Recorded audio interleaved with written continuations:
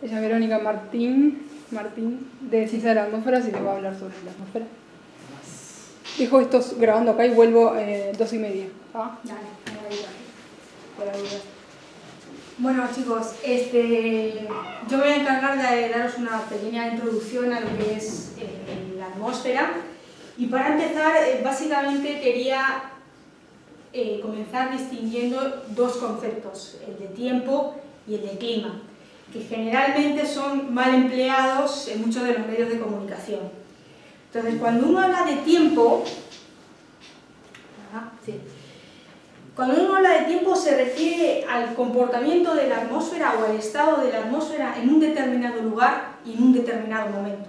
Por ejemplo, cuáles son las condiciones de temperatura, nubosidad, precipitación, viento, presión, hoy acá en Montevideo a las una de la tarde. Eso es hablar de tiempo. Hablar de clima es hablar del comportamiento promedio del tiempo a lo largo de un periodo de tiempo que puede ser, ponele 30 años, 50, 100 años, un periodo largo de tiempo. Cómo el tiempo se comporta en promedio a lo largo de ese periodo de tiempo es lo que se conoce como clima. Para ponernos un, ejemplo más claro, Imaginaos, vamos a hacer un ejercicio de imaginación, hoy está nublado, pero vamos a imaginarnos que está resoleado, no hay ni una nube, hace muy buena temperatura y eh, no hay nada de nubosidad, nada de precipitación, poca humedad en el ambiente, algo de poca. ¿Eso da como para decir que el clima en Uruguay es seco? No. Y días de esos tenemos. Sin embargo, el clima de Uruguay es. El clima es el comportamiento promedio del tiempo a lo largo de muchos años, 30, 50. El tiempo es el comportamiento o las condiciones que tiene la atmósfera en un determinado momento, en un determinado, en un determinado momento y en un determinado día. A su vez, el clima, si bien es el comportamiento promedio del tiempo a lo largo de un periodo largo de tiempo, el clima resulta de la interacción entre los cinco componentes del sistema climático. Esos componentes del sistema climático son la atmósfera, la hidrosfera, la criosfera, la litosfera y la biosfera. La interacción que se establece entre estos componentes del sistema climático da lugar, o sea, el resultado de la interacción entre esos cinco componentes del sistema climático es lo que da lugar al clima. Y esas interacciones entre estos elementos del sistema climático se producen a través de flujos de energía, materia y momento. Para poneros un ejemplo, imaginémonos, eh, perdón, no he introducido la atmósfera, todos sabemos que es la fina envoltura gaseosa que rodea el planeta. La hidrosfera vendría a ser el componente del sistema climático que está constituido por los océanos, por toda lo que es la parte de agua líquida, océanos, mares, ríos, lagos, etc. La criósfera sería el componente del sistema climático que básicamente eh, está eh, constituido por toda la, el, agua en forma de hielo o de nieve, en forma sólida. La litosfera serían todos los continentes y demás, y la biosfera, lo que es la parte de los seres vivos. Entonces, un tipo de interacción, por ejemplo, que se puede dar entre la atmósfera y los océanos, la atmósfera y la hidrosfera, Sería, por ejemplo, cuando eh, se produce la evaporación eh, de agua en los océanos. Para evaporarse el agua necesita absorber calor, que lo absorbe del propio agua. Ese calor es el calor latente y con esa energía, digamos, que absorbe el, agua de la superficie del océano se evapora y pasa a formar parte de la atmósfera.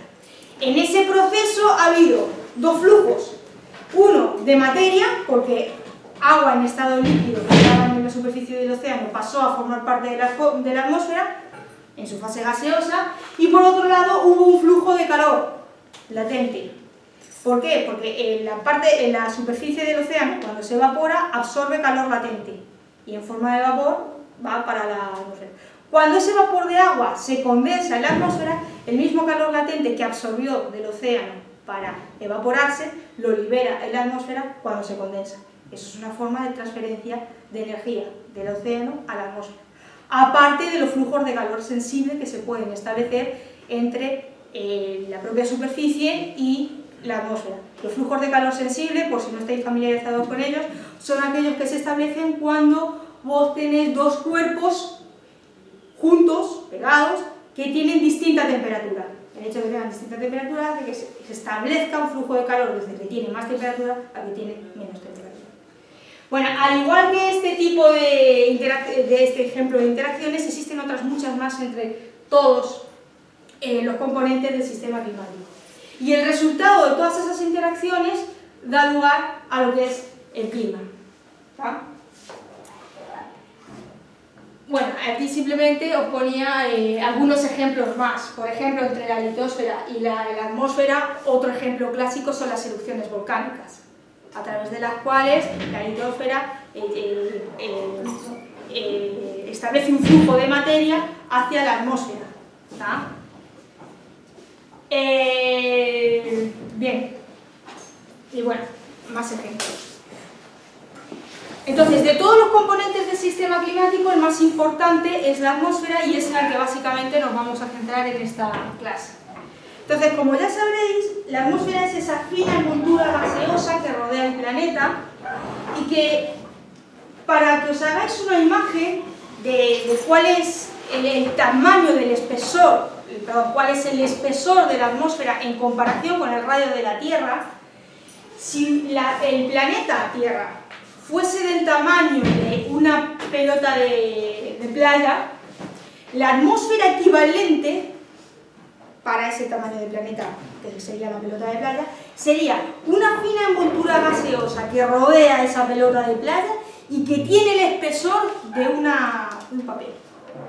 Para que os hagáis una idea de cuál es el tamaño del planeta, tiene un radio de 6.370 kilómetros, en comparación con lo que es el espesor de, la atmósfera. Y básicamente la atmósfera tiene bueno, dos funciones son las que he puesto aquí. Tiene otra más que también es muy importante y que luego hablaré de ella.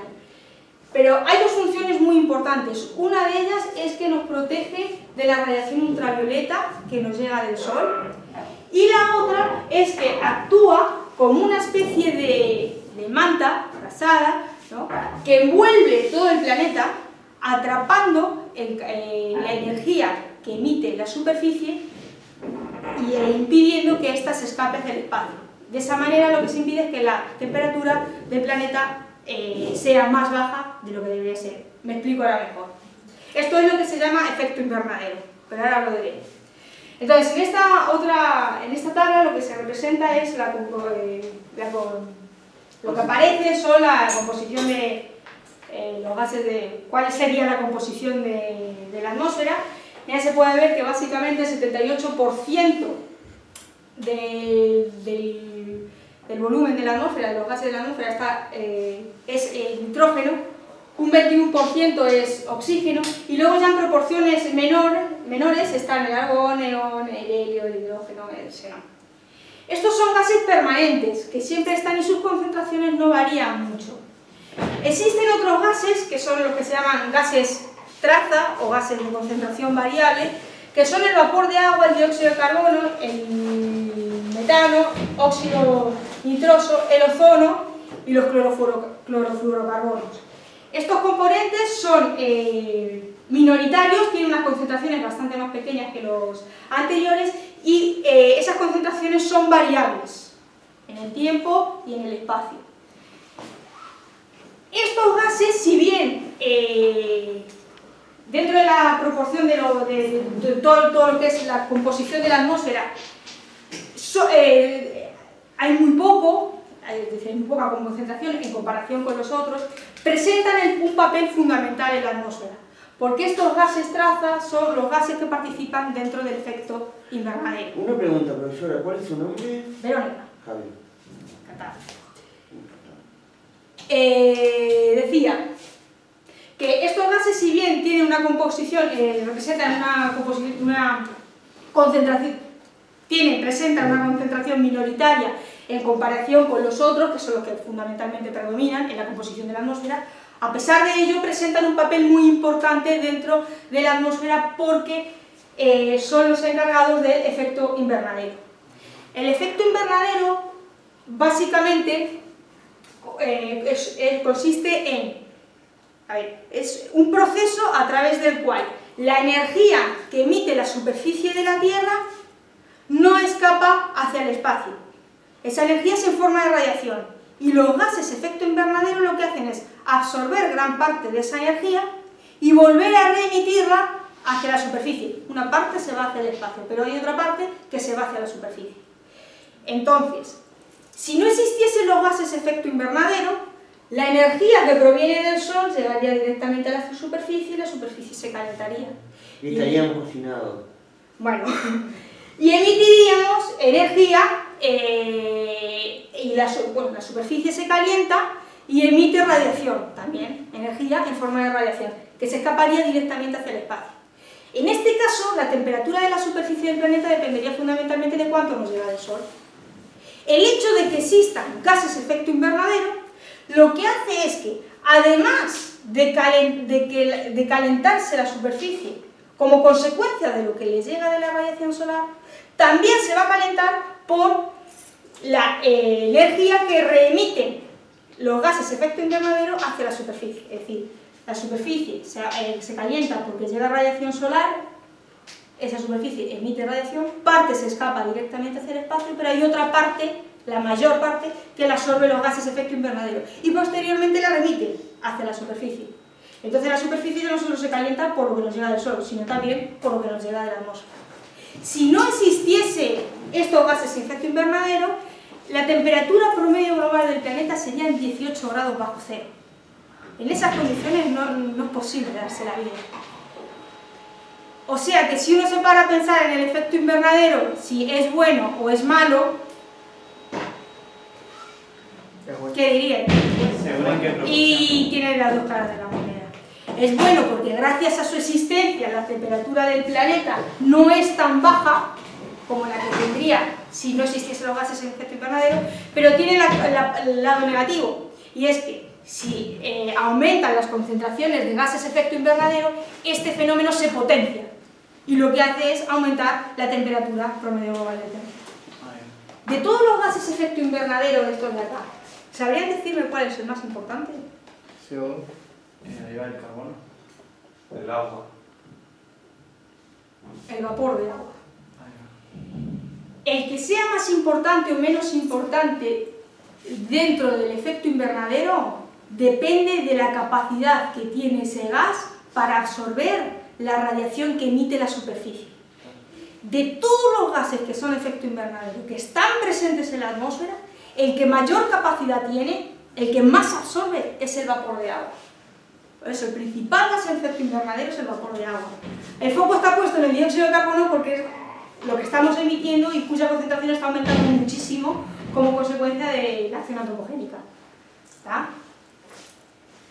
Bien. ¿Pero esto es por, es por la concentración que es mayor o por...? Claro, o sea, eh, en, el todo el tema del calentamiento global se, le está, se está hablando fundamentalmente del dióxido de carbono. El problema está en el dióxido de carbono porque es lo que estamos aumentando su concentración y es un gas efecto invernadero. Si aumentamos la concentración lo que estamos haciendo es potenciar este fenómeno. Pero digo de, que el vapor de agua es más importante porque hay más concentración de vapor de agua no, o porque no, es más importante en el sentido... Sí, es, eh, eh, el cuán importante sea un gas a la hora de contribuir al efecto invernadero depende de cuánta energía procedente de la atmósfera ese gas es capaz de absorber. Y de todos ellos, el que más absorbe es el vapor de agua. Por eso sería el principal gas efecto invernadero. Pero el, el problema fundamental que tenemos a día de hoy con el calentamiento global está en el efecto invernadero pero por, como consecuencia de la emisión antropogénica del dióxido de carbono, que está aumentando muchísimo la concentración de ese gas como consecuencia de nuestras emisiones. Bueno, ¿estoy yendo muy deprisa? No, no.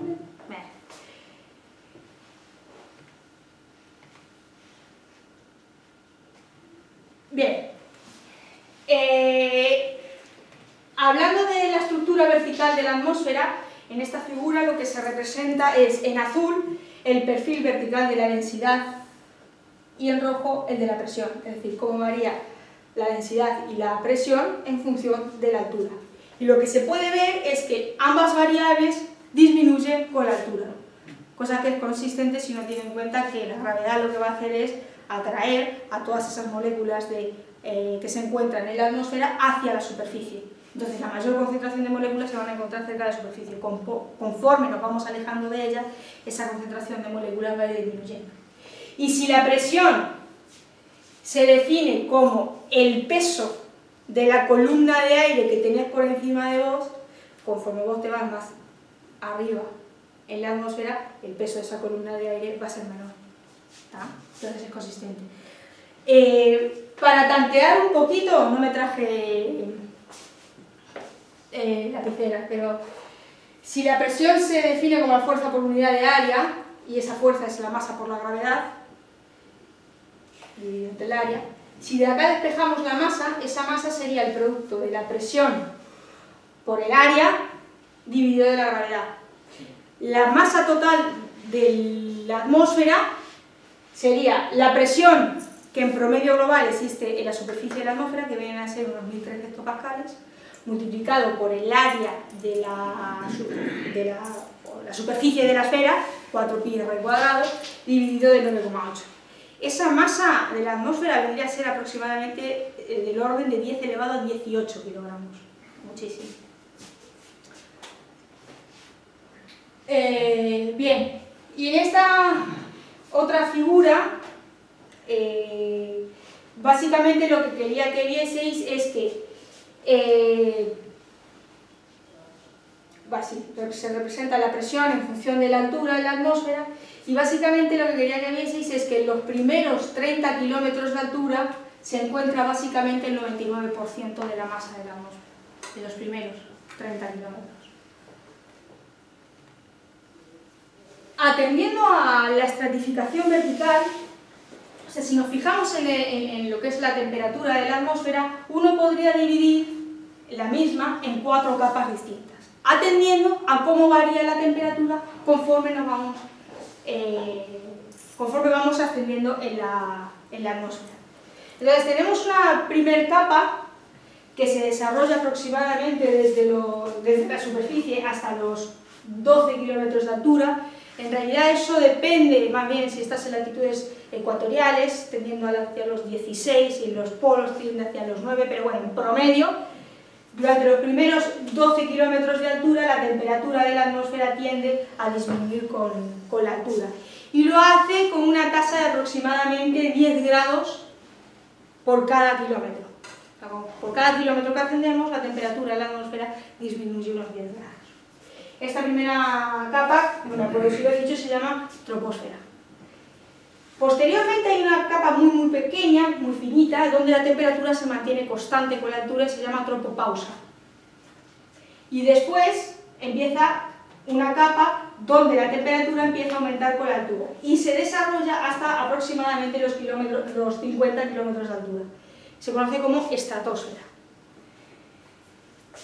Después, al igual que pasaba acá abajo, en torno a los 50 kilómetros de altura hay una pequeña capita pocos kilómetros donde la temperatura se mantiene constante y a continuación empieza otra vez a disminuir con la temperatura.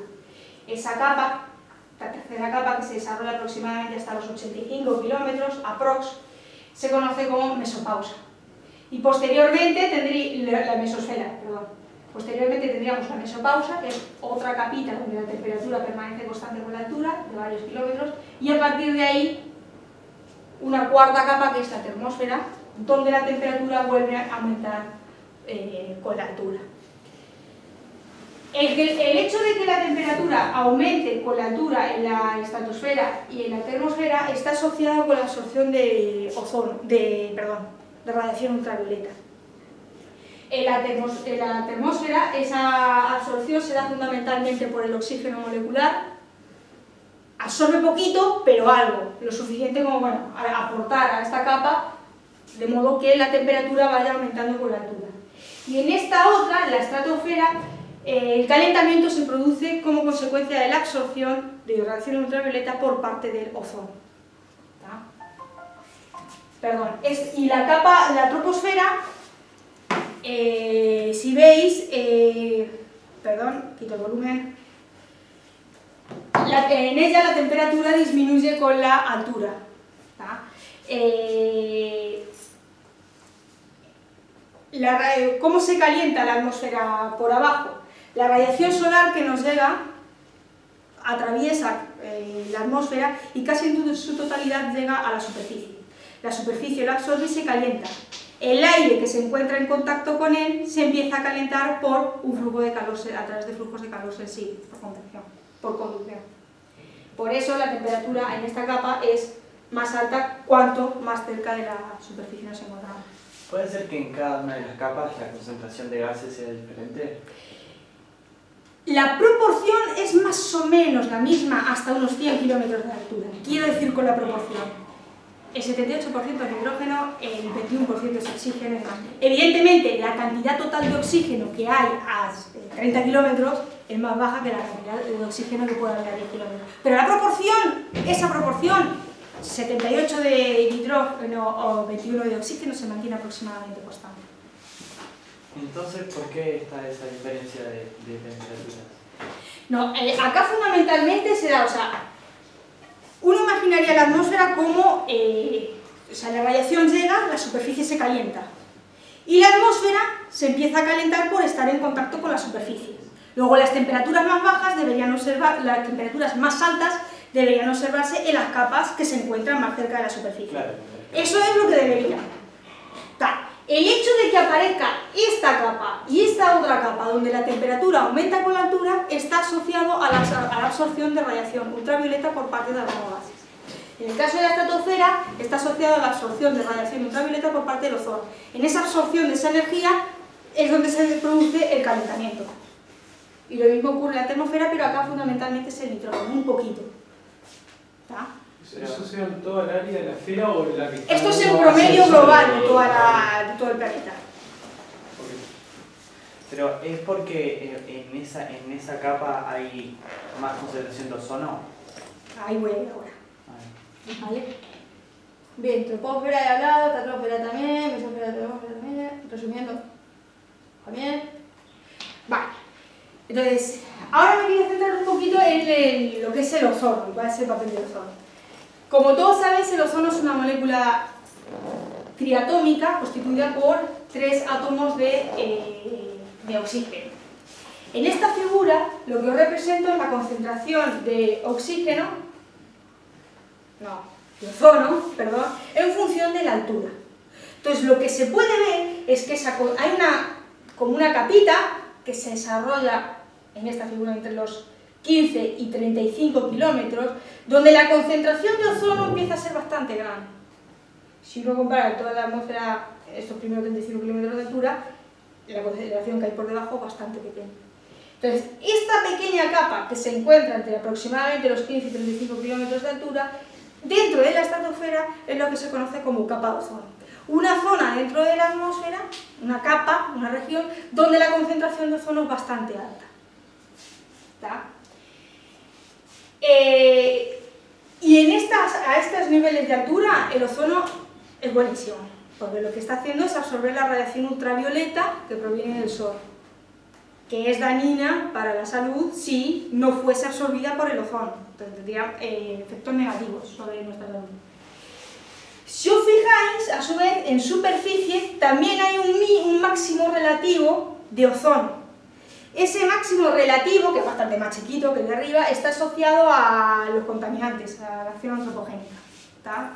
Las emisiones de los autos y demás, junto con la interacción del oxígeno y radiación eh, solar, da lugar a la formación de ozono en superficie. El ozono en superficie no es bueno, es perjudicial para la salud. Lo que nos interesa es que el ozono le tengamos, pero en altura. Algunos en 20, 30 kilómetros de altura. Ahí está bien. ¿Tá? Entonces, el ozono en la atmósfera tiene un proceso natural de formación y destrucción.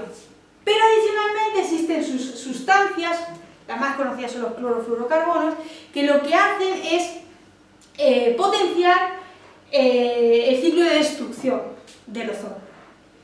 Y, y asociados a estos clorofluorocarbonos, a estas sustancias que agotan la capa de ozono, es por lo que se habla del agujero de la capa de ozono.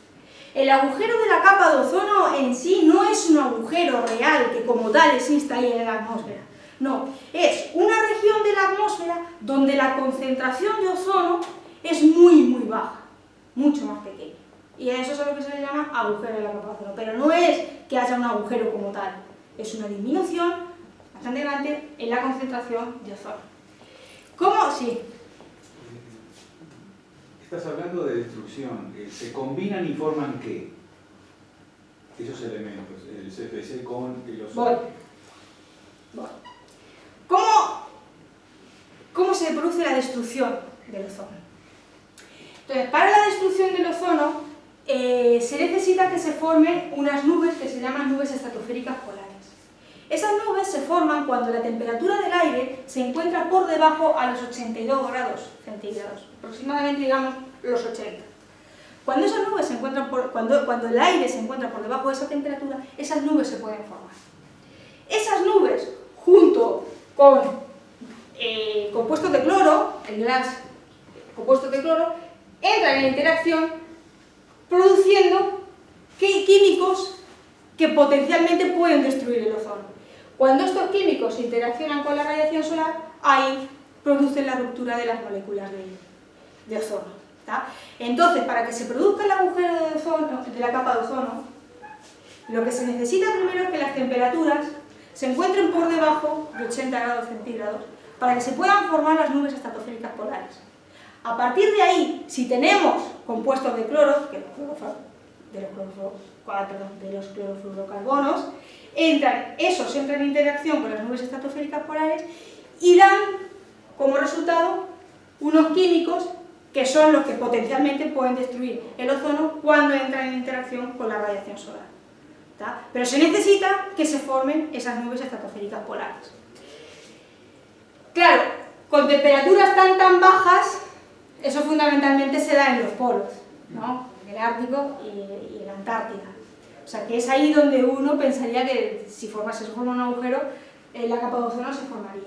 Sin embargo, eh, lo que todos hemos oído es que el agujero de la capa de ozono está en, el, en la Antártida y no en el Ártico. Y la pregunta es ¿por qué? Bueno, en esta figura lo que os muestro es la temperatura del aire en la, eh, en la baja estratosfera que vendrían a ser 15, eh, 16 kilómetros, ¿no? En el Ártico, que es la línea roja, y en la Antártida, que es la línea azul. En función de los meses del año. Mayo, junio, julio, agosto, septiembre, para de la Antártida, cuidado que como las estaciones están intercambiadas, noviembre, diciembre, enero, febrero, marzo, abril, para el caso del Ártico. El umbral de esos 82 grados bajo cero aproximadamente se encuentra acá. Entonces lo que se puede ver es que mientras que en el Ártico, perdón, un pequeño detalle más, eh, las bandas estas de color eh, amarillo y azul clarito vienen a representar el rango de valores observados. O sea, este sería el promedio, pero el valor observado va dentro de, todos estos, de, de todo este rango, ¿vale? Como digamos la variable. Bien, entonces lo que se puede observar básicamente acá es que siempre en la Antártida, desde aproximadamente junio hasta ponerle septiembre, finales de septiembre, las temperaturas que se alcanzan están por debajo de los 82 grados centígrados. Luego todos los inviernos se pueden formar nubes estratosféricas polares, que esas, junto con los clorofluorocarbonos y la radiación solar, pueden dar lugar a la destrucción de ozono. Sin embargo, en el Ártico, primero, la cantidad de meses que podrían, en los que la temperatura en promedio está por debajo de los 82 grados centígrados es mucho menor, diciembre, enero, febrero, que con respecto al Ártico, a la Antártida, perdón, que son mucho mayores meses, mucho mayor la cantidad de meses en los que la temperatura está por debajo. Y a su vez, si os fijáis en la dispersión, hay años en los que incluso la temperatura no se, no se llega a encontrar por debajo de este umbral. Entonces, mientras que en el Ártico, en la Antártida, siempre todos los inviernos se llegan a alcanzar temperaturas por debajo de 82 grados bajo cero y se pueden formar esas nubes, en el Ártico no. Hay años que sí y hay otros que no. Por eso, en general, Cuando se habla del agujero de la capa de ozono, se centran en la Antártida y se habla de la Antártida. Bueno, y acá simplemente os quería mostrar dos imágenes para que eh, las que se ve la concentración de ozono, la columna vertical de la atmósfera, y eh, los valores que tienen a las tonalidades eh, violetas, azuladas, son mínimos, mientras que los máximos serían las tonalidades rojizas. Entonces lo que se puede ver es que sobre toda la zona de la Antártida es donde se encuentra esa zona donde la concentración de ozono es muy baja, en torno a 200 unidades de Y acá simplemente os mostraba una serie temporal del mínimo de ozono observado en la Antártida a lo largo del tiempo, desde 1979 hasta 2014. Entonces se ha podido ver que hubo un descenso en la década de los 80, ponele, hasta los 90, muy pronunciado, y a partir de entonces, bueno, ha habido años que ha aumentado un poco, otros que ha disminuido, pero la tendencia es más o menos constante. Y esto está relacionado con la prohibición de la emisión de clorofluorocarbonos en 1996. A partir de entonces, como se dejaban de emitir, dejó de aumentar la concentración y eh, esa disminución de, la capa de ozono pareció no seguir incrementando. Si bien es pequeña la concentración, como que no siguió, eh, disminuyendo. Bien. Y ahora quería empezar a hablar un poco de balance energético de, de, la Tierra. Entonces, a lo largo de la historia han existido periodos bastante largos en el tiempo donde la temperatura promedio global se ha mantenido constante. Eso quería decir que, para que se mantenga constante, que la misma cantidad de energía que llega al planeta eh, se tiene que ir. Es decir, que tiene que existir un equilibrio energético. Entonces, para mostraros un esquema de cómo es el equilibrio energético de la Tierra, imaginaros que a la, a la cima de la atmósfera nos llegase una cantidad de energía solar igual a 100 unidades. No estoy inventando, esto es simplemente para mostrar una esquemita. De esas 100 unidades, aproximadamente 6 y 8, 14 y 17, 20, 31. 31 unidades se reflejan directamente hacia el espacio. Eso es lo que se conoce como albedo, el porcentaje de la radiación que procede del Sol que directamente es reflejado hacia el espacio. ¿Por quién? Por la propia atmósfera, por las nubes o por la eh, superficie. Un día nublado, generalmente la temperatura es menor. ¿Por qué? Porque eh, hay, más cantidad de radiación solar que está siendo reflejada hacia el espacio y que no nos llega a la superficie, por tanto no se calienta. se calienta bien. Bueno, 31 unidades aproximadamente se escapan directamente hacia el espacio como consecuencia del albedo.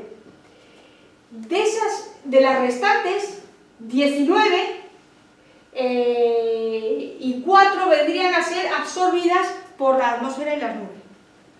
Sobre todo por el ozono. Acuérdense que la, radiación ultravioleta procedente del Sol la absorbía el ozono. Ese porcentaje de 23 unidades englobaría eso. Y el total, que en resumidas cuentas nos llega a la superficie, son 46 unidades. O sea, fijaros que desde lo que llega al tope de la atmósfera a la superficie, prácticamente la mitad, algo menos, es lo que nos llega.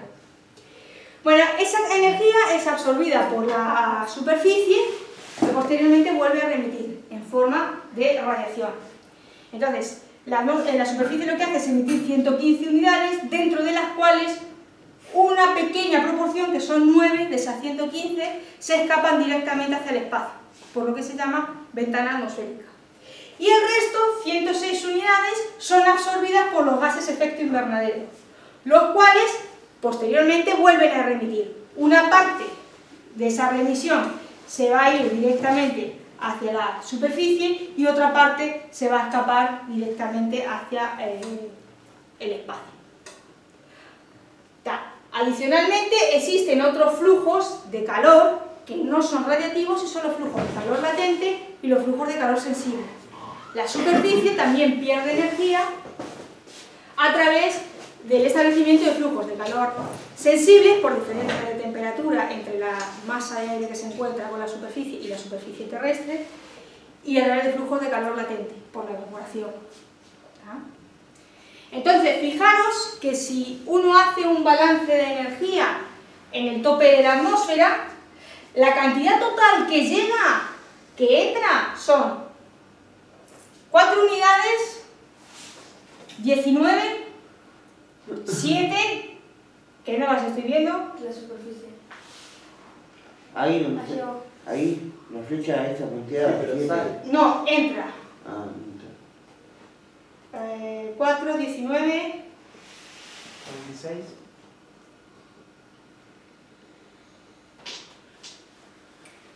al tope de la atmósfera llegan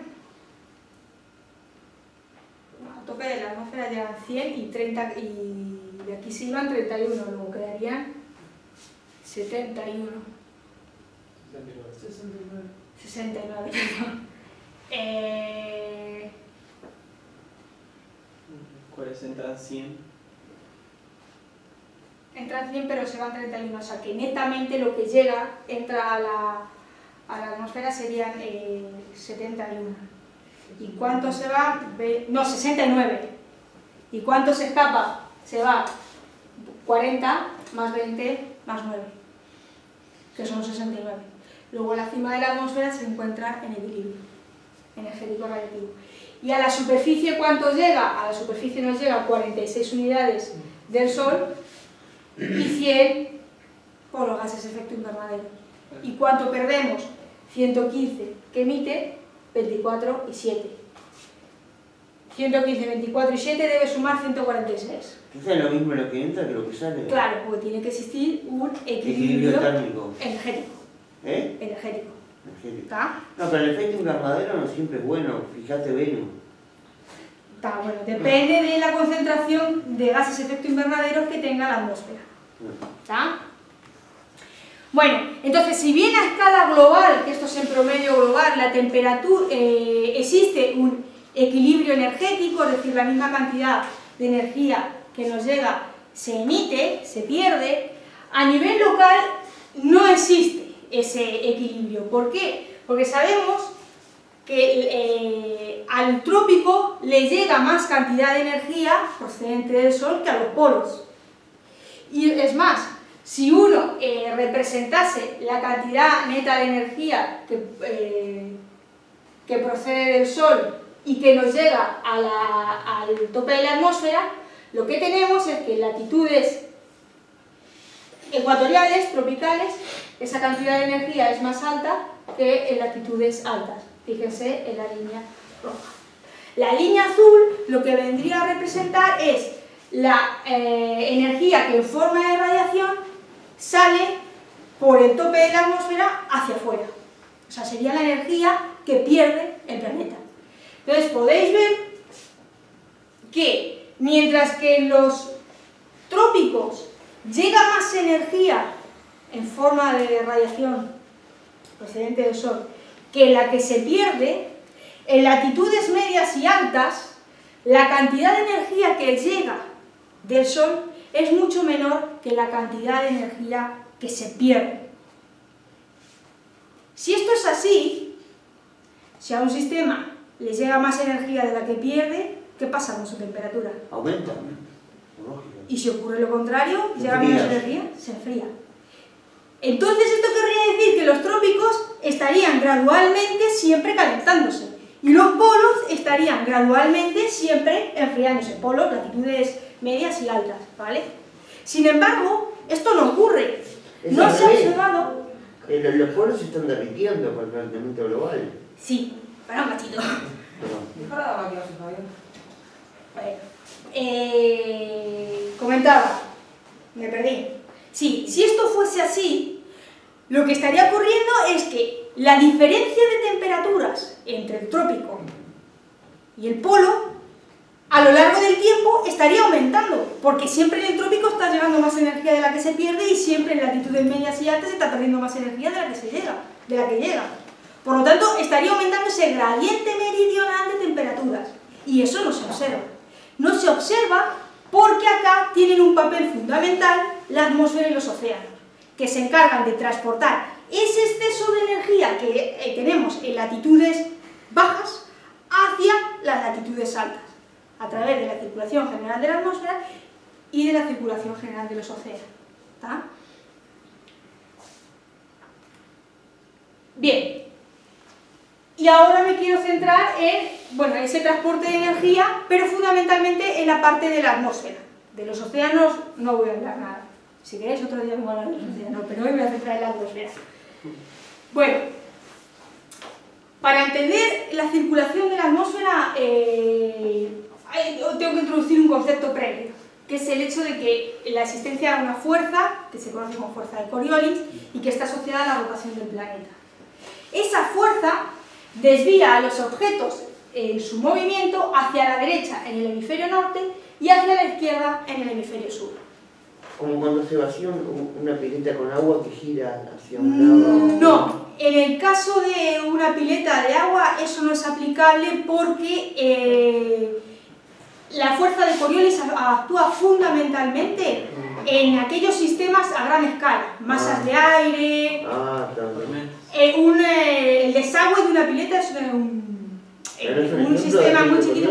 No, porque ahí depende más bien de las propiedades de cómo esté construida la pileta, eh, de cómo salga eh, el agua. Y si uno agarra las ecuaciones de movimiento que rigen un fluido, los términos que dominan ahí ya, eh, son el gradiente de presiones, no tanto, No la fuerza, no, no tanto la fuerza de Coriolis. Entonces, fundamentalmente, la fuerza de Coriolis afecta a movimientos de masas de aire a gran escala. Entonces, si la Tierra no rotara, te puedo pedir ir a la oficina que hay aquí atrás y que te den unos bolígrafos para la pizarra, o si no, a secretaría. Gracias. Le tocó. Me olvidé, perdón, chicos. Bueno, ¿alguna duda hasta ahora? Tengo una pregunta. Eh, yo escuché hace un tiempo que, que no tiene nada que ver, pero para eso va la pregunta. Escuché, por ejemplo, que Estados Unidos quería tirar unas bombas de plomo al tipo a la atmósfera para mejorar la telecomunicación y no sé qué. ¿No se puede hacer tipo eso con el ozono? ¿No se puede tirar tipo ozono al agujero? Ta, el tema es que, uh, cuidado ahí, porque el ozono tiene dos, te he dicho uno, pero tiene otro papel importante. Ah, Uno era la absorción de radiación ultravioleta, pero por otro lado el ozono también es un gas efecto invernadero. no, tanto si se tiramos mucho ya. Y aparte viste que varía por los años. Claro, está, pero me parece que se ve tanto déficit en esa parte, capaz que se le podía Gracias. Claro, sí, sí. Para llenar. Bueno, llenar como Eh, Pero cómo varía. quería explicaros cómo en, en un planeta en el que no existe rotación, cómo sería la circulación general de la atmósfera. Entonces, para ello, imaginaros de manera intuitiva, ¿no? Bueno, no vamos a meter mucho detalle. Imaginaros que acá se encuentra el ecuador y que acá se encuentra el polo. ¿Está? La temperatura en el ecuador es más grande que en el polo, ¿no? Entonces, si vos tenés, eh, imagínate que te agarras un globo y lo inflas. Si la temperatura del aire dentro del globo son 20 grados, el volumen de ese aire va a ser mayor o menor que si la temperatura fuese 10 grados. Mayor. Entonces, aire más caliente está más dilatado que aire más frío. Entonces, si uno se agarrase la columna vertical de la atmósfera, hasta una presión, ponele de eh, 1000 milibares, eh, 100 milibares, me lo voy a inventar, para un ejemplo, o 10, 10 milibares, lo que queráis, la altura de, esa, de ese nivel de presión va a ser mayor en el ecuador que en los polos. Es un nivel de presión peso 1 constante. Porque el aire acá está más dilatado que los polos. ¿Hasta acá se entiende? Entonces ahora lo que vamos a hacer es agarrarnos un determinado nivel de altura z constante a lo largo de la superficie del planeta.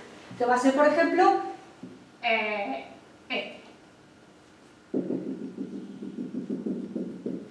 Que es un nivel de altura z, que le voy a llamar z1, y que es constante. O sea, la distancia de acá, a acá en el ecuador es la misma que acá, a acá. Entonces, la presión en este punto a una altura Z1 en el ecuador es mayor o menor que la presión en este punto que se encuentra a la misma altura Z1 pero en el polo. Menor. Y si es menor, tiene que haber un de. ¿Dónde, dónde es menor la presión? En el, no, en la, en el aire caliente. ¿Dónde es menor? En el polo es menor la presión atmosférica, me parece. Ah, bueno, sí, porque hay menos, menos volumen de aire. Fijaros que acá la presión en este punto va a ser peso 1, que es la presión que hay acá, más lo que pesa esta capa. Más eh, P de, lo voy a llamar delta de H, ¿tá? Lo que sea. Pero sin embargo en esta otra va a ser peso 1 menos lo que pesa esta capa, porque yo ahora me encuentro por acá, lo que pese todo la capa de arriba va a ser menos. El P de delta de H prima. Entonces la presión atmosférica es menor en los polos que en el ecuador. A un mismo nivel de altura, Sí. ponele eh, 10 kilómetros, la presión en el ecuador es eh, mayor que la presión en los polos. Esto sería en, una, en un planeta que no rotaría. ¿Está? Bien. Esa diferencia de presión es lo que produce la aparición de una fuerza asociada a ese gradiente de presiones. La fuerza del gradiente de presiones siempre va direccionada desde la zona donde hay mayor presión a la zona donde hay menor presión. Entonces, si vos tenés acá una parcela de aire, como la presión en esta zona es mayor que la presión en esta otra, esta eh, sobre esta parcela de aire va a, va a aparecer una fuerza, que es la fuerza del gradiente de presiones, que va a inducir un movimiento hacia el polo, de la zona donde hay mayor presión a la zona donde hay menor presión. Por continuidad, si el aire acá se está yendo, en superficie va a ascender. En los polos va a descender y cuando llega acá se va a ir hacia el ecuador. Entonces, en el caso de un planeta que no rota y donde no existen continentes, la circulación de la atmósfera sería dos celdas, que se conocen con el nombre de celda de Hadley, una en el hemisferio norte y otra en el hemisferio sur, donde en el ecuador el aire asciende y en niveles altos se va hacia los polos, del polo norte hacia el polo sur. En los polos la convergencia de aire hace que subsida, de- de- descienda y al llegar a la superficie lo que, tiene lo que hace el aire es diverger una parte, Eh, no, una parte no, se va hacia el ecuador. Entonces se forman dos celdas de circulación cerrada, donde los ascensos de aire están en el ecuador, en niveles altos el aire se está yendo hacia los polos, en los polos el aire baja y en superficie vuelve hacia, hacia el ecuador. Entonces, las zonas donde el aire asciende, en superficie lo que se tienen son bajas presiones. ¿Por qué? Porque lo que la presión que es el peso de la columna de aire que tienes por encima, ¿no? Si acá el aire se está yendo, en superficie la presión va a disminuir. Y estas zonas donde el aire converge en superficie y asciende, van a ser zonas donde se va a dar lugar a las precipitaciones intensas. Porque el aire que llega a niveles bajos cargado de humedad, al ascender se va a ir enfriando y va a llegar un momento que ese vapor de agua que viene va a condensar, va a formar bolitas de agua, nubes y posteriormente va a precipitar. Bueno, ¿qué es lo que pasa si damos un pasito más y nos vamos a un modelo más realista y consideramos que existe rotación del planeta? ¿tá? En ese caso, un experimento con modelo lo que mostró es que en lugar de existir una única celda en cada hemisferio, existen tres. La primera que se encuentra en los trópicos se conoce como celda de Hadley, en el hemisferio norte, en el hemisferio sur. La segunda celda de Ferrer, tanto en el hemisferio norte como en el hemisferio sur, y se encontraría fundamentalmente en las latitudes estratopicales, desde los 30 a los 60, tanto en el hemisferio norte como en el hemisferio sur. Y la última sería la celda polar, que se desarrollaría desde los 60 hasta los 90, tanto en el hemisferio norte como en el hemisferio sur. ¿Está? Y ahora fijaros que en un planeta donde no hay rotación, los vientos en superficie irían dirigidos directamente desde la zona de altas presiones en superficie hacia la de bajas, que se encuentra en el Ecuador.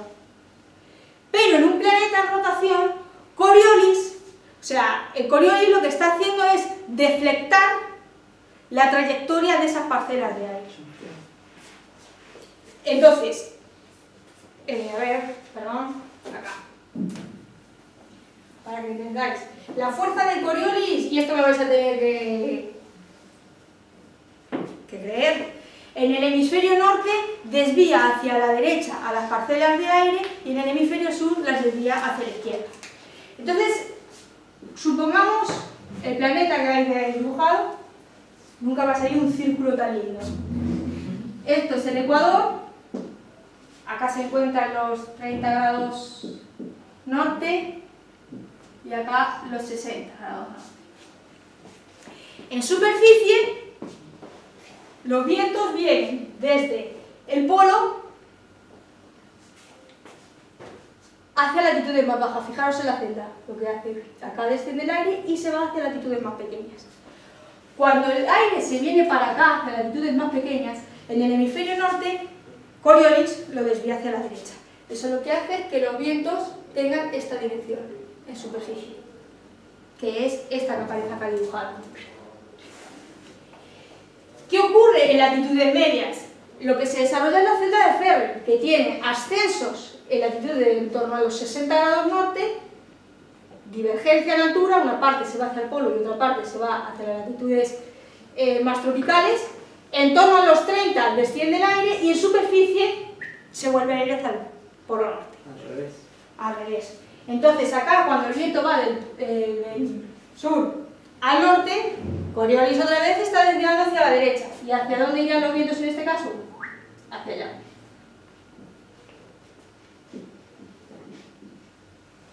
Y finalmente, ¿qué es lo que pasa acá? En el trópico. Tenemos la celda de Hadley, que eh, es donde los movimientos de ascenso se producen en torno a los 0 grados, en torno al ecuador. En altura el aire diverge, se va hacia los polos y en torno a los 60 grados, a los 30 grados de latitud norte y sur, la convergencia de aire genera descenso del mismo y divergencia en superficie. Una parte del aire que desciende en torno a los 30 grados de latitud, tanto en el norte como en el sur, se va a ir hacia el polo y la otra parte se va a venir hacia el ecuador. La que viene hacia el ecuador, en el caso del hemisferio norte, es deflectada hacia la derecha. O sea que se va a ir para allá hacia la derecha con respecto a la di- dirección en la que él se está moviendo. Es decir, no tenemos que subir en esas parcelas de aire y movernos con ellas. Si ellos están yendo hacia el sur, ahí hacia la derecha. Porque imagino que en la, en la izquierda, ¿no? Para acá. Por eso, el, el del que se deflecta a la derecha en el hemisferio norte o a la izquierda en el hemisferio sur, esa derecha o esa izquierda es que te subas en la parcela del aire y te muevas con ella. Y conforme te estás moviendo con ella, si estás en el hemisferio norte, Coriolis va a ir para acá, hacia la derecha. Si estás en el hemisferio sur, hacia la izquierda. Y, de esa, y utilizando un razonamiento análogo al que utilizaba el hemisferio norte, uno puede entender esta distribución de vientos que aparece en el hemisferio sur, donde los vientos, no hace falta que lo repita, ¿no? Es más o menos lo mismo, pero aquí estos son 30 grados sur, 60 grados sur, acá los vientos son vientos del este, los esterlies. En este caso, los vientos vienen así. ¿No estoy dando vuelta? De a la izquierda, sí. Y en el ecuador vendrían en esta dirección. Entonces, ¿qué es lo que ocurre? En superficie, en el hemisferio norte los vientos vienen en esta dirección y en el hemisferio sur vienen en esta otra viajando desde el este hacia el oeste. Eso es lo que se llama los vientos alisios. Y, y estos vientos convergen en latitudes ecuatoriales. Pero de esa convergencia, cuando los vientos convergen, hay dos opciones. O hacen un agujero en el suelo y se hunden en el planeta, o se van para arriba. La opción es la dos, la otra no puede. Entonces, de esa convergencia, los vientos ascienden. Y en ese ascenso, toda la humedad que lleven consigo puede llegar a condensar, formarse nubosidad y dar lugar a precipitaciones. Posterior, por eso acá se forma un cinturón de bajas presiones asociado a eh, grandes precipitaciones. Las mayores precipitaciones del planeta se dan en torno al Ecuador. En altura el aire diverge, que es lo que hace que la presión en superficie eh, disminuya, porque el aire se está yendo, está divergiendo, y posteriormente ese aire converge en altura en torno a latitud de 30 grados. La convergencia en altura y subsidencia, o sea, el movimiento, el descenso del aire hacia la superficie, forma un cinturón de altas presiones en torno a los 30 grados norte y sur. Por el mismo razonamiento, otro cinturón de bajas presiones se encontraría en los 60 grados norte y sur. O sea que básicamente en un planeta con existencia de eh, rotación, la circulación general de la atmósfera sería esta. Y acá la atmósfera está transportando el calor desde el ecuador hacia los polos a través de la celda de Harvey, hacia latitudes más grandes. Y en la latitud 30 entonces habría poca precipitación. Claro, porque fíjate, detalle, acá el aire converge, viene cargado de humedad porque el océano es trópico, hay mucha evaporación y toda esa evaporación la afecta el aire en su movimiento. En el Ecuador, en torno al Ecuador, converge. Esto es lo que se llama zona de convergencia intertropical. Converge. Y esa convergencia, el aire asciende, en ese ascenso el vapor de agua condensa, forma gotita de agua, nubes y precipita. Entonces, cuando llega acá al nivel más alto, que en torno a la tropopausa más o menos, el aire empieza a diverger. Pero ese aire ya no tiene vapor de agua, porque precipitó antes, acá, durante el ascenso. Formó una nube y precipitaron. Entonces, este aire que se está viniendo para acá es aire seco, que posteriormente, cuando decaiga acá en latitudes bajas, no solo tiene poco aire, tiene poco vapor de agua, sino que además durante el descenso la temperatura de esas parcelas de aire va a aumentar, entonces no se va a favorecer que exista condensación. Por eso en estas zonas se observarían los mínimos de precipitación en el planeta. ¿Está? Eh, bien. Ah, claro, este resultado es eh, teniendo en cuenta un planeta donde no existen continentes. Tiene una rotación, omega, como la de, la que tiene la Tierra, pero no existen continentes. Entonces, este, esta zona de altas presiones es todo un cinturón que alrededor del anillo de 30 grados de latitud se encuentra, donde hay zonas de alta presión y los vientos van a ir desde la zona de alta presión a la zona de baja presión, deflectados por Coriolis hacia la izquierda en el hemisferio sur, hacia la derecha en el hemisferio norte. ¿Qué pasa si existen continentes? Si existen continentes, en lugar de existir toda una banda de altas presiones, lo que existe son centros bien marcados y definidos de altas presiones. Por ejemplo, el que se encuentra acá en el Pacífico Sur, en el Atlántico Sur o en el Índico Sur, o el que se encuentra acá en el Pacífico Norte y en el Atlántico Norte. Estas otras serían también unos centros de bajas presiones que se encuentran en latitudes de los 60 grados, donde acá observábamos este cinturón de bajas presiones. Y finalmente, acá quería mostraros un poco cómo es eh, la distribución de precipitación en, en, promedio anual en todo el planeta. Entonces, las tonalidades que tienen hacia el azul, violeta, rojo son valores más grandes, las, las que tienden hacia el verde son más chicas. Entonces se puede ver que la, las, la mayor precipitación mundial, a escala mundial, digamos, tiene lugar sobre el Ecuador. ¿Y la blanca? Eh, la blanca es una zona donde hay muy poca precipitación. Y ahí que tenemos anticiclones asociados a los centros de alta presión.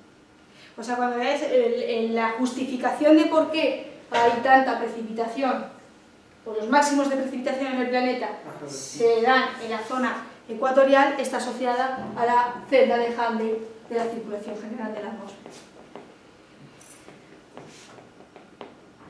¿Hasta qué hora es la clase? Voy a terminar antes. Bueno.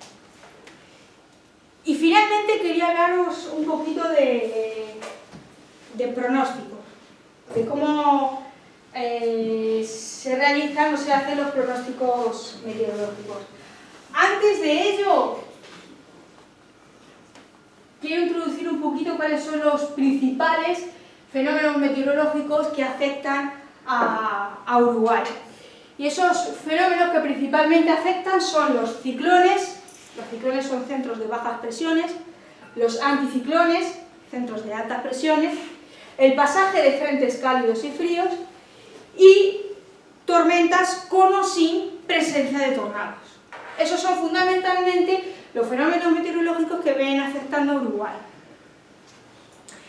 Entonces, para ver un poquito de cada uno de ellos, los ciclones son centros de bajas presiones, como este que está acá, que tienen un tamaño una escala espacial de varios miles de kilómetros y un tiempo de vida que oscila entre varios días, una semana aproximadamente. El sentido de giro de los vientos alrededor de estos centros, en el caso del hemisferio sur, alrededor del centro de bajas presiones es en sentido horario, así. Y esos vientos son tales que en superficie, si vos tenés una baja, un centro de bajas presiones, los vientos tienden a cortar estas líneas azules, eh, o azules, amarillas que aparecen acá son isobaras, puntos que unen eh, zonas de igual presión. Bueno, pues eh, los vientos son casi paralelos a las isobaras, porque no son paralelos, y en el caso del hemisferio sur giran en sentido horario alrededor del centro de bajas presiones, cortándolo, cortando las isobaras con un ángulo de aproximadamente unos 30 grados y siempre en dirección hacia adentro. No por Coriolis. ¿Eh? No por Coriolis. Sí. Pero Coriolis no de la izquierda. Está bien, está bien por la izquierda. La izquierda, derecha. A ver. Está girando para la- Está girando a la izquierda.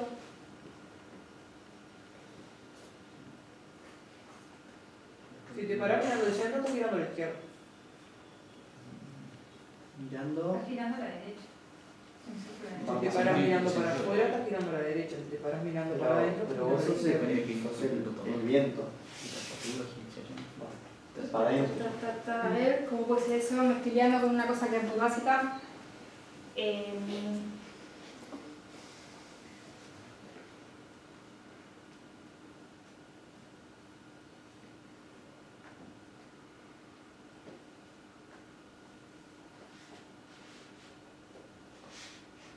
Tal vez porque al ser, al ser baja presión y sube, tal vez inviertes.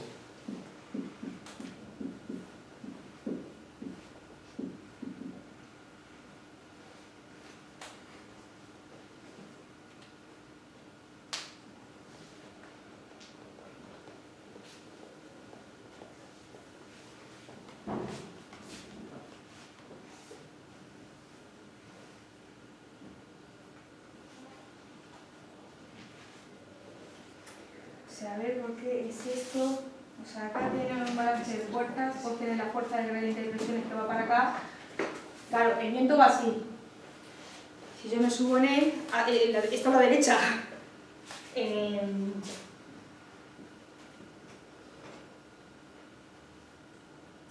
Claro, la de iría para... Estoy algo... Bueno, chicos, eh, luego al final de clase trato de pensar esto mejor y argumentarlo. Ahora mismo, hacedme un acto de fe para no trancar la clase acá y lo explico después. Vale. Lo pienso después. Bueno, en el caso del hemisferio sur, los vientos alrededor de este centro de bajas presiones giran en sentido horario. Eso sería así. Y como es un centro de bajas presiones, siempre el aire se va moviendo desde la zona de altas presiones hacia la de bajas presiones. Entonces, en superficie, el viento tiende a cortar esas isobaras moviéndose hacia el interior del centro de la baja. Aproximadamente. Y estos ciclones están asociados a condiciones de mal tiempo, precipitaciones, lluvia, vientos. Los centros de altas presiones eh, presentan una escala espacial eh, más o menos igual que la de los ciclones, de, varios miles de kilómetros, y una escala temporal también que oscila entre unos días y, algunas, y una semana. El sentido de giro de los vientos alrededor de un centro de altas presiones en el hemisferio sur es tal que los vientos van rotando alrededor de ese centro en sentido antihorario, pero eh, como saliendo, alejándose del, centro de baja presión y cortando las isobaras con un ángulo chiquito, unos 30 grados. Entonces, los vientos en un centro de bajas presiones en superficie tienden a converger en su centro y en un centro de altas presiones tienden a diverger, a irse. ¿tá? Y estos centros de altas presiones son los que están asociados a condiciones de buen tiempo. De, de buen tipo o, y mucho calor, puede ser. Sí, porque hay nubosidad, de la radiación. Eh, ta.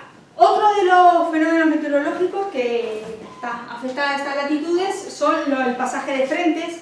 Esos frentes están asociados a eh, centros de bajas presiones. En hablar de un ciclón y frentes, eh, está asociado una cosa con la otra. ¿tá? Entonces, un frente se entiende como una superficie imaginaria que delimita dos masas de aire de distintas condiciones de temperatura, densidad. Y el corte de esa superficie frontal, imaginaros, eh, pongámonos en esta imagen. Acá tenemos aire frío y esto es aire cálido. La superficie frontal sería toda esta superficie imaginaria que separa el aire cálido de separa el aire frío del cálido. La intersección de esta superficie frontal con la superficie es lo que, da, lo que se llama frente. Hay cuatro tipos de frentes, pero solo voy a hablar de dos. El frío y el cálido. También está el estacionario y el ocluido. Pero voy a centrar en los frentes, fríos y cálidos. El frente, se dice que un frente es frío si la masa de aire frío es la que empuja y desplaza a la masa de aire cálido. Se dice que el frente es cálido si es la masa de aire cálido la que empuja y desplaza a la masa de aire frío. Y eso os lo explico. Entonces, imaginaros que esto es la superficie y yo tengo una masa de aire fría, que es esta. Cuando esta masa de aire fría se desplaza para allá, ocupando estos espacios, donde acá el aire en un principio es más cálido que este, esta masa que se está desplazando para allá, como es más fría, es más densa. Y si es más densa que, que el aire que está acá, que es más cálido, cuando esta masa viene empujando al aire cálido de acá, el aire cálido de acá, empujado por esta, no le queda otra que ascender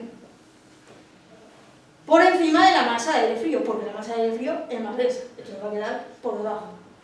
Entonces, en- a, esta configuración es cuando se dice que eh, lo que tenemos es un frente frío, porque es la masa de aire frío la que está empujando al aire cálido, y para el aire cálido que se encuentra acá desplazarse no le queda otro remedio que colocarse por encima de la, eh, de la otra. Masa de aire frío que desplaza a la de aire cálido, frente frío. Cuando es la masa de aire cálido, suponemos que tenemos ahora un aire cálido acá, esta es una superficie que separa el aire cálido de acá del frío de acá. Cuando el aire cálido se mueve para allá y empieza a empujar al aire frío para desplazarlo hacia allá, este aire cálido en cierto modo se ve obligado a subir por arriba conforme va empujando al aire eh, frío, porque como es aire cálido menos denso, se va a- siempre va a quedar por arriba para la tranquilidad sentada. Entonces, en ese ascenso, bueno, esa configuración sería la que está relacionada con los frentes fríos. Tanto en una como en otra, el, el- de aire cálido por encima del frío da lugar al desarrollo de precipitaciones y demás, como consecuencia de la condensación del vapor de agua que tuviese el, el aire cálido.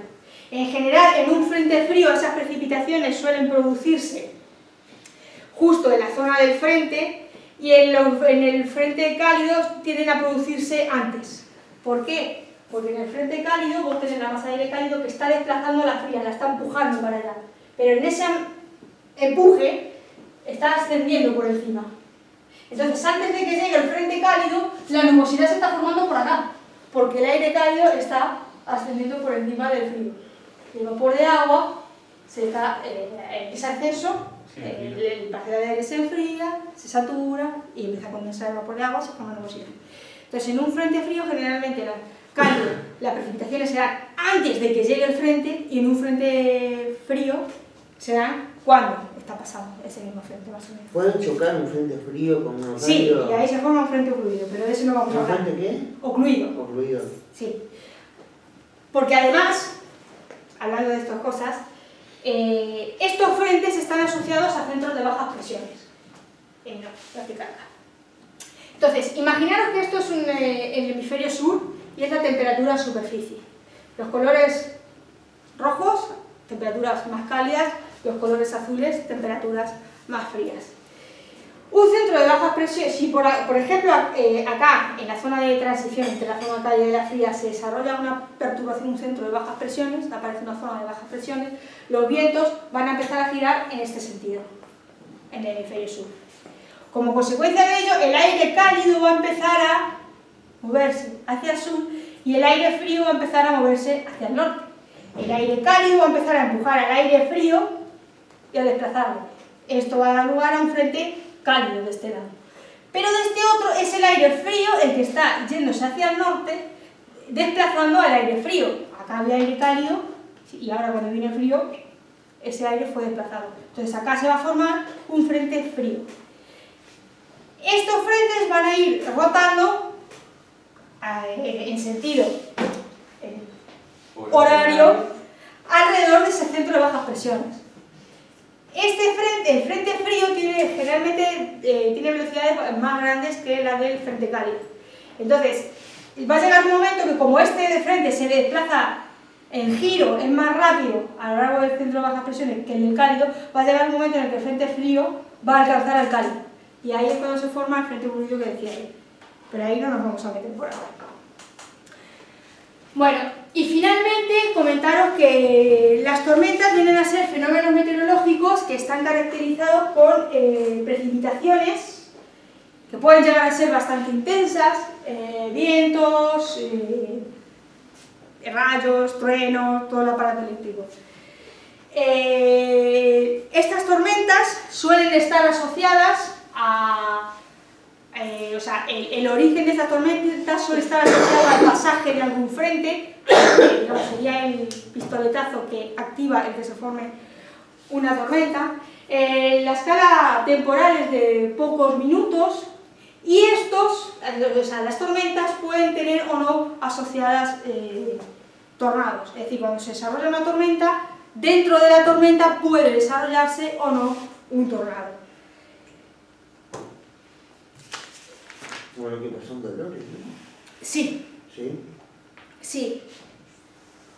Para que se forme un tornado es necesario que se den una serie de condiciones en la atmósfera que básicamente son dos. Uno, que exista una fuerte inestabilidad atmosférica y dos, que eh, exista un fuerte cambio en la dirección e intensidad de los vientos conforme nos vamos alejando de la superficie del planeta. Cuando esas dos condiciones se dan, la posibilidad de que se forme tornado está. Pero que esté esas dos condiciones no quiere decir que vaya a ocurrir. Pero poder, puede. Los tornados a día de hoy no, eh, no se pueden predecir. Uno puede predecir, utilizando modelos, en qué regiones se van a dar las condiciones idóneas como para que se forme un tornado.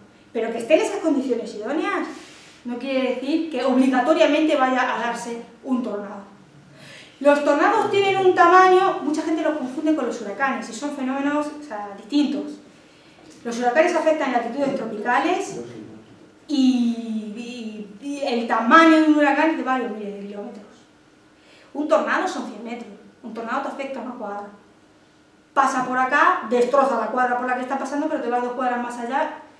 Y bueno, sí, hubo fuertes vientos intensos y demás, pero no destrozó nada. Los tornados son muy devastadores, pero como son tan chicos, devastan por donde pasan. Pero dos cuadras más allá no, no tienen por qué destruir. Tienen menos tiempo de vida, ¿no? De Sí. Un promedio de 10 minutos. Por los huracanes tardan días en... Sí, los huracanes pueden tener periodos de una semana y más. ¿Ah? Pero son dos cosas distintas. ¿Pero los huracanes son de viento solo también como indicio? o- Lo- eh, no, los huracanes también tienen vientos muy, muy intensos. A ver. Este, en el caso de los tornados, estos eh, se pueden alcan- eh, la intensidad de los vientos puede ser incluso 400, 500 kilómetros por hora. Sí, sí. Y la velocidad con la que se desplaza, el, tor- el tornado no solo gira, sino que también se desplaza, ¿no? Esa velocidad con la que se desplaza puede variar en torno a los eh, 0 y los 120 kilómetros por hora. ¿Son lo mismo o son designaciones diferentes de, del mismo fenómeno, el tifón y el, torna- y el huracán? Eso no es lo mismo. Lo único Se que si se da en la zona de la India, el trópico por ahí, se le llama tifón. Pero el fenómeno es el mismo, la formación es la misma, la naturaleza es la misma, todo lo mismo. Lo único que bueno, se da en otra región del planeta y allá lo llamaron tifón. Pero es lo mismo. ¿Y una tromba es igual a un tornado? No, eso son otras cosas. Las trombas de agua son eh, eventos de precipitación muy, muy extremos, muy intensos. Y los tornados están asociados a tormentas y pueden darse o no dentro de una tormenta. Eh, bien, entonces, ¿cómo, de manera muy simple y resumida, quería ver para finalizar cómo se hace un pronóstico? Entonces, básicamente para predecir, lo primero que necesita un meteorólogo es ver cuál ha sido el comportamiento y el estado de la atmósfera durante los últimos días. Y para eso, lo que generalmente hacen es agarrarse imágenes de satélite, imágenes de radar y hacer un monitoreo con mapas de presión geopotencial en distintos niveles de altura en la atmósfera. Con eso lo que ven es cómo centros de bajas y altas presiones se han ido desplazando, cómo han ido siendo los vientos, la formación de las nubes, cómo ha sido esa evolución y hacia dónde se están propagando y dónde, en el caso de los eh, datos de radar, dónde ha habido precipitaciones. Entonces, antes de hacer un pronóstico, lo primero que tiene que hacer un meteorólogo es hacer un análisis de cómo se encuentra ahora la atmósfera. Porque así tienes, digamos, una idea de por dónde se ha venido comportando, qué es lo que ha venido ocurriendo hasta ahora. Eso primero. El proceso de pronóstico del tiempo en sí consta de cinco fases. La primera consiste en un acopio de todas las observaciones. Observaciones de la atmósfera. Y esas observaciones pueden provenir de estaciones de en superficie, estaciones meteorológicas en superficie, radiosondeos, boyas, barcos, satélites, radares, etc. Y de ahí se agarran datos de temperatura, viento, humedad, presión, todo eso. Entonces lo primero es un acopio de los datos observacionales que se tienen del estado actual de la atmósfera. El siguiente paso es un control de calidad. Y en ese control de calidad lo que miran es, bueno, uno tiene datos observacionales, pero puede ser que algún dato te han tomado, sea erróneo. Entonces hay que hacer un primer control de calidad para que aquellos numeritos que sean erróneos los saquemos de, de los datos. El siguiente, el siguiente paso es un análisis de datos y, y perdón, es la asimilación de datos y análisis, que básicamente es un proceso que consiste en, para yo poder predecir, necesito un modelo numérico, pero ese modelo numérico, para darme la evolución del tiempo o de la atmósfera en, en- en momentos sucesivos, posteriores, en un futuro, lo que necesita es que yo le diga cuáles son las condiciones iniciales de la atmósfera, cuál es el estado actual y a partir de ahí el modelo seguir. Bueno, pues en el proceso de asimilación de, eh, de datos y de análisis, lo que se hace es construir las condiciones iniciales óptimas que le vamos a dar al modelo para que el modelo nos diga, teniendo en cuenta esas condiciones iniciales, cómo va a evolucionar la atmósfera. ¿Está? Evidentemente, en la construcción de estas condiciones iniciales, uno tiene en cuenta las observaciones. Entre otras cosas, este, eh, esta etapa del pronóstico es buena porque Un modelo lo que necesita es que le demos datos de la atmósfera en una grilla que sea eh, regular, con una determinada distribución espacial de datos. Los datos observacionales que tomamos no tienen esa grilla regular.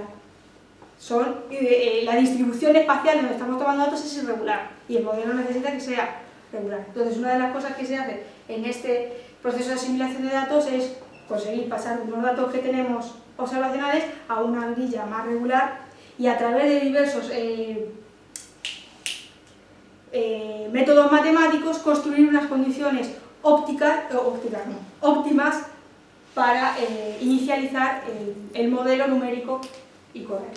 Entonces, el siguiente paso es, bueno, ya una vez que tenemos las condiciones iniciales, se las imponemos al modelo y hacemos correr, y el último paso es un postprocesamiento, que los eh, meteorólogos lo que tienen que hacer es agarrar los datos del modelo, interpretarlos y representarlos de alguna forma más como para darles esa información de una manera más entendible al público.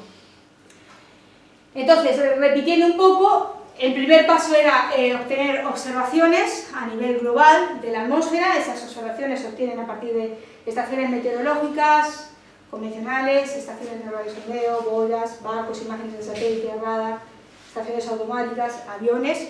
Una vez que se tienen todos esos datos, el siguiente proceso es hacer un control de calidad. Imaginaros que, por ejemplo, tenéis que esta es la distribución de temperatura de superficie en una determinada zona. Y tenéis que la temperatura son 6, 5, 4, 9, 6, 11, 10, 8, 70. Ese dato está mal. En el control de calidad lo que se hace es ver posibles errores o malas medidas dentro de las observaciones. Y se utilizan distintos criterios, como que exista una consistencia espacial entre los gradientes eh, de las variables, que no haya saltos temporales marcados, que la temperatura sea siempre superior a la temperatura de punto rocío, bueno, distintos, eh, distintos puntos que se deben tener eh, en cuenta para que los datos tengan una buena calidad. Una vez que ya hemos tenido las observaciones y hemos hecho el control de calidad, lo siguiente es el proceso de asimilación de datos, en el que básicamente, haciendo uso de unos métodos numéricos de diversa complejidad, lo que se hace es construir, teniendo en cuenta esas observaciones, una, eh, las, lo que serían las condiciones iniciales que le vamos a dar al modelo. El modelo agarra esas condiciones iniciales y corre en el tiempo, resolviendo estas ecuaciones las ecuaciones de movimiento en la atmósfera, de continuidad, eh, bueno, pronóstico de humedad, la hidrostática, etc.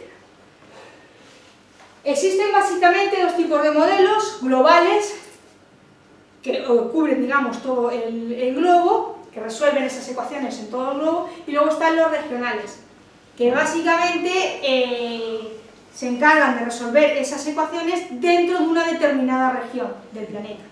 Evidentemente a estos modelos regionales eh, hay que decirles qué es lo que está pasando en los contornos, donde ellos... Y esas condiciones de borde las hagan en los modelos Entonces, fijaros que la resolución horizontal eh, de los modelos viene siendo de 13, 16, 13 el GCS, el de Reino Unido son de 16, el UCAMET es de 25 kilómetros y luego los eh, modelos regionales el brasilero tiene unos 15 kilómetros de resolución horizontal, el ETA SMN, que es argentino, 20 kilómetros, y el WRF también unos 20 kilómetros. Y bueno, esta es la resolución la vertical, cada cuánto hay eh, un, eh, digamos, un nivel de, digamos, de no sé, no sé, nos está dando. Entonces, una, una forma de argumentar sencillamente por qué los modelos no predicen un tornado es que el tornado tiene un tamaño de unos 100 metros. Si vos te vas acá al modelo que mejor resolución tiene, el GPS son 13 kilómetros. Esto quiere decir que entre que te da un dato acá, al siguiente hay una distancia de 15 kilómetros. Entre puntos, en horizontal, consecutivos, hay una distancia de 13 kilómetros. El modelo no puede ver un fenómeno de 100 metros porque eh, necesita ver fenómenos, o sea, lo que puede ver el, modelo son aquellos fenómenos cuyo tamaño es más grande que lo que es la resolución espacial que tiene. Pero podrías tener 100 tornados en el medio y ni enterarte porque... Pero por ejemplo, en otros lugares, ¿no? según las películas, hay gente que los estudia. ¿Cómo, cómo saben dónde se puede llegar a formar? ¿Por qué se, se, se forman con frecuencia en esas zonas? O porque... No, mira, eh, las zonas donde se puede formar, eh, para que se forme un tornado se tienen que dar esas dos condiciones que dije antes. Entonces, la gente que estudia dónde se forman más tornados es gente que estudia dónde generalmente se dan esas condiciones. ahí. Lo otro, tenemos la limitación de que, claro, los modelos no podemos. Lo que sí uno puede hacer a día de hoy es con imágenes de radar, que lo que hacen es ver dentro de la nube donde se puede estar formando y demás, está eh, haciendo uso de esas imágenes de radar, creo que en Estados Unidos eso se hace ya a día de hoy, eh, ver dónde se está produciendo eh, eh, un tornado, se está formando un tornado, pero está, puedes avisar con 10 minutos de antelación, que es No. el momento en el que se está iniciando y lo que se desarrolla, que son 10 minutos lo que tarda. Claro. No se puede hacer mucho Y más. ahí sonarían las alarmas, todo para, para los sótanos y... O sea, a día de hoy lo que Ah. mejor se puede hacer es bueno, decir, bueno, eh, las condiciones están, se puede dar. ¿Y dónde, dónde es posible que se da? Pero de, ahí no te aseguras más. Es un tema que está todavía bajo investigación. Hay mucho por aprender y por saber de eso todavía y por desarrollar. Bueno, y básicamente una vez que uno ya ha corrido los modelos, eh, que básicamente lo que hacen es resolver las ecuaciones que rigen el movimiento de la atmósfera en pasos de tiempo corto y que en general se guardan cada algunas horas, normalmente son 3 y 6 horas, una vez que ya tenemos eso, eh, viene la etapa de postprocesamiento, en la que los meteorólogos tienen que agarrar esos datos y interpretarlos, hacer mapas, representarlos, hacer todo el trabajo de interpretación para posteriormente eh, darle la información de una manera útil y entendible al, al público. Y bueno, para terminar el pronóstico para hoy, eh, el miércoles nublado, eh, bueno, eh, dentro del postprocesamiento está todo el tema de dar la información y de representarla. Una de las aplicaciones que existe es la de MeteoBlue, tanto en el celular como en, internet, que eh, nos da la evolución de la temperatura diaria a lo largo del día, la cobertura nubosa y la posibilidad de precipitación, la intensidad de los vientos y la posible ráfaga y su dirección. Entonces, básicamente, según esto, parece que todo el día va a estar nublado y que donde hay posibilidad de precipitación es en torno a las 6 de la tarde, a partir de las 6 de, de la tarde. ¿Y hoy? Sí, Uh, según esto. Y que bueno. Y bueno, la temperatura más o menos se va a mantener en torno a los 19 grados. Puede ser. No, no muy fría, pero está, más o menos. Y bueno, ¿alguna pregunta, comentario o algo que ¿Qué pueda tan ayudar? cierto es esa información que escuché hace un tiempo eh, respecto a que estamos en una especie de corredor donde van a empezar a darse con más frecuencia Bueno, de si este van a empezar a darse con más frecuencia o no, la verdad es que yo no he leído ningún trabajo de investigación como para poder responderte. Sí es verdad que estamos en una zona dentro del mundo donde eh, se dan más tornados porque generalmente existen esas condiciones para que se den los tornados. Pero si va a ser una zona donde se van a dar, van a empezar a haber más tornados o no, yo la verdad que no he leído ningún trabajo de investigación que hable sobre eso. Además, que estudiar, hacer una estadística, un estudio estadístico de la ocurrencia de tornados es medio complicado, porque un tornado es un fenómeno que tiene un tamaño de 100 metros. Anda a hacer un estudio en Uruguay cuando la mayor parte del, planeta, no, del país eh, está, o sea, no hay nadie viviendo. Y de- o sea, uno no, eso no lo ve. O sea, uno tiene constancia de la existencia de un tornado cuando ha habido alguien que lo ha visto. Y ahí puede estudiar. Pero hasta incluso hacer una estadística es difícil porque muchas veces pasan tornados y no nos hemos dado cuenta porque ha caído en medio campo. Se ha dado en medio campo, entonces es medio complejo. A tu pregunta, la verdad que yo no te puedo responder. No sé si va a haber más o menos eh, tornados de aquí en adelante, porque no he leído ningún estudio. Y es medio complicado que haya un estudio que trabaje sobre eso. A lo mejor sí y yo no lo he leído, pero Alguna sanata periodística debe ser. puede ser. Yo no le quiero dar leña a los periodistas. Pero bueno, puede ser, o a lo mejor no. Simplemente yo no. ¿Más cosas, chicos? Yo tengo una duda, por ejemplo, en, no sé si llamarle microclimas, pero hay zonas en las que, por ejemplo, la lluvia y el sol, la lluvia y el sol, en cuestión de minutos, pasa. Por ejemplo, estuve hace un tiempo en Chapada Diamantina, donde estaba, de repente se cerraba todo y se ponía a llover, y en cuestión de minutos salía el sol y estaba totalmente despejado. Entonces, ¿cómo, ¿cómo se podría determinar en esa zona si es posible en determinados puntos más zonas, no sé cómo decirlo, es una reserva ecológica que tiene como montañas? Ah, eh, ahí se vuelve más complicado pronosticar porque el hecho de la existencia de una orografía perturba al flujo de, de la atmósfera. A escalas más pequeñas, si son muy chiquitas, es muy difícil ver que se forme una nube de no mucho tamaño que dé lugar a precipitaciones intensas y luego desaparezca. No sabría yo. ¿Más? Bueno, pues por mi parte, hasta acá terminaría. Os debo la respuesta a esto que me voy a poner a estudiar ahora. Y el próximo día...